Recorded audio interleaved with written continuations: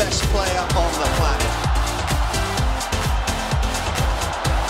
Djokovic makes it five in Beijing.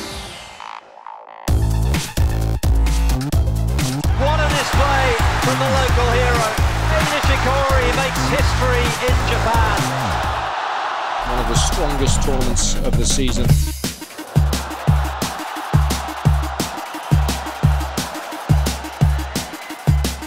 large and in charge. He has delighted his fans here in China.